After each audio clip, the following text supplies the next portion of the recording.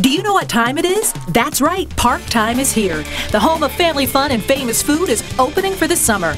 Del Grosso's Park opens this weekend.